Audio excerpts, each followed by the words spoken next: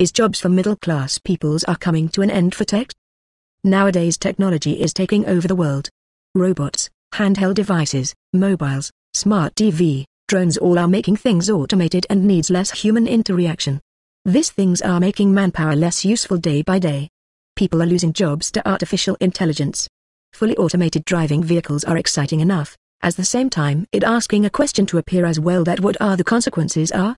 No to mention technology's advancements are for making people's life better, until now it served the humanity very well.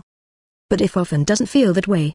Your goods delivered on time by a drone sure seems nice and exacting, but the creators of the tech doesn't consider the human cost for the tech or at least their impact of the labor or middle class working people. Causing fear among the middle class job holders, as the enhanced robotics and drone with help of artificial intelligence in mass production, over 800,000 of people's job had been lost to tech, a study from Deloitte showed over 3.5 million created still estimated over 3.6 million British jobs will be lost by 2030. No jobs for all those peoples where will they go? Technological advancement will come. New ideas and entrepreneurs will come but shifting from agricultural jobs to manufacturing. Now industrial revolution shifting the workflow so people need new kind of jobs. And this mass amount of people's finding a new kind of work to earn their basic income for livelihood is becoming difficult and is their basic human right to get to work. Easy to say capitalist growth brings about change with both positive and negative. But people with low skills, low income who becomes redundant is less to expect the government to support in the hard time. Main paint is fat easier to see how tech seeming to be a competitive force, it can displace too, when it takes more from the people.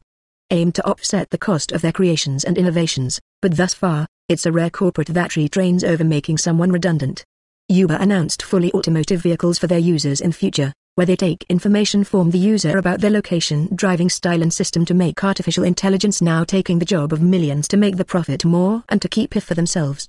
It's impacting theirs and their customers' safety and in establishing a self-employed driver network. Circumvented the need to consider basic workers' rights like sick pay. Part of the problem is regulation.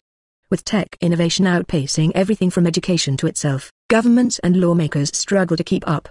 GDPR came into play years after data was stored, rehashed and used to influence people's behavior, like Uber, who used information on a critical journalist to shame her, or the 80% accurate behavioral data stored by Cambridge Analytica.